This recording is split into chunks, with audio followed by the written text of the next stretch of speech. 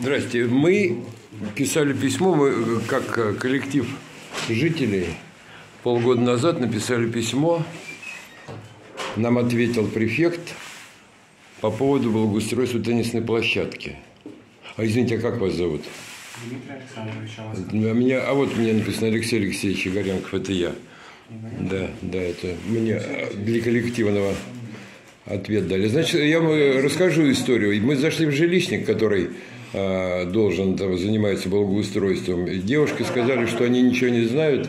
Это было давно. И чтобы мы обратились в управу, чтобы в управе знают, кто что наши скамеечки, урны, вешалки обещаны в прошлом году сделать и поставить. То есть сейчас какой у вас конкретный вопрос был? Сейчас конкретный вопрос. Вот смотри, это наше обращение, письма, там, подписи. А вот ответ. Само обращение, ну да, вот это обращение, да.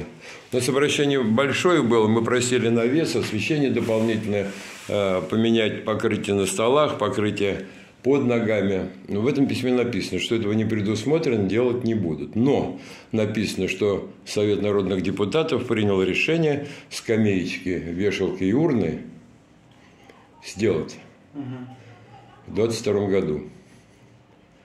Вот. И к девушкам пришел туда, они говорят, мы ничего не знаем, никаких скамеек. Говорят, что вроде вешалки где-то фигурируют.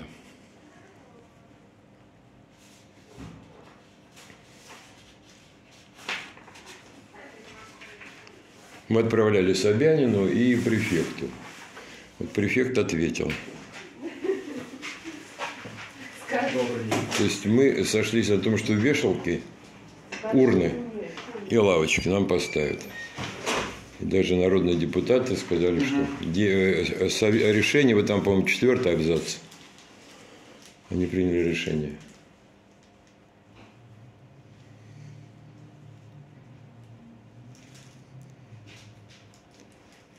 Ну, в 2018 году было благоустройство. Э, Да, это строили парк, мы прекрасно знаем, что строили. Это мы, мы, мы не о том, что было, а о том, что надо сделать дополнительно. О том, что было, мы знаем, видим.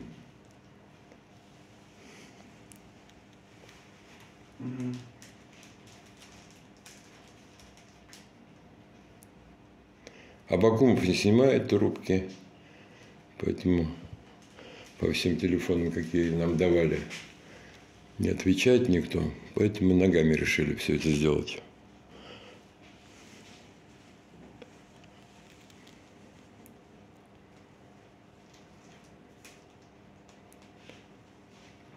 Написано прямо запланировано. Наверное, где-то в каких-то планах, может быть, есть. А если нет, то надо включить в эти планы. Может быть, даже просто позвонить в этот преображение, как его. Ну, да, ну, вот сентябрь. В жилищник. Решение депутатов, да. То, Да. что они приняли решение звонили. Сейчас будем поднимать, смотреть, что, скорее всего, это будет в этом году.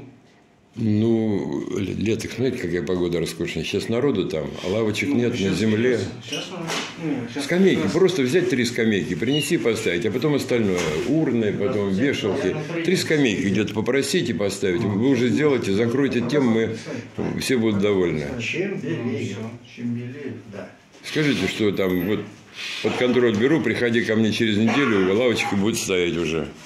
Ну, Мы сейчас будем смотреть, у нас сейчас весна началась. Ну, конечно, у вас наверняка их много, Сейчас, ну, кого? лавочек. Ну. Сейчас будем смотреть и поднимать документы. Так. И весенний, ну, весенний-летний период. Что нам делать? Вот у меня 30 человек, они ждут, чтобы я им Ну, пока, сказал, даже пока сейчас ждем тоже. кого. А где, кто контролировать будет, кто курировать будет, к кому нам обращаться, или мне к вам приходить? Ну как, это же личник стоит. А жилищник на вас ссылается. Они сказали, в том-то и весь парадокс, что они говорят, мы не знаем, идите в управу. Давайте я запишу ваш номер. Давайте. Диктуйте. Это 8, 96, 8, 96. да, 96, потом 606, 34 606. Угу, угу. Алексей Алексеевич меня зовут. Какая фамилия еще раз? Егоренков.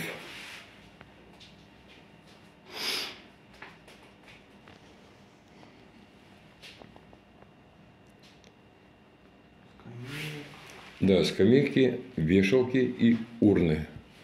Если мы в экстренном порядке поставим с вами три скамейки, мы сделаем большое дело. Остальное потом уже доведем до ума. Вешалки, урны. Шесть столов. Народу собирается очень много. Там до 50 человек.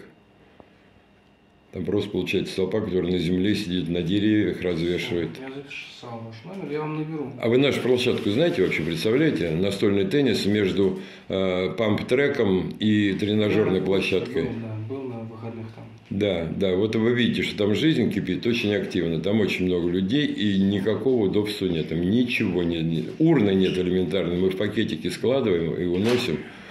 Все сделано мимо Я нас. Э, что- в. В, течение какого времени мне сообщите? Его главы. Не к концу. Без понятия. Я вам сообщу. В течение когда? Недели, 10 дней, месяца? Сообщу вам на, думаю, что завтра, по крайней мере, когда выясним. А Вы мне позвоните, скажете, какие мероприятия Ну да, будут проводиться?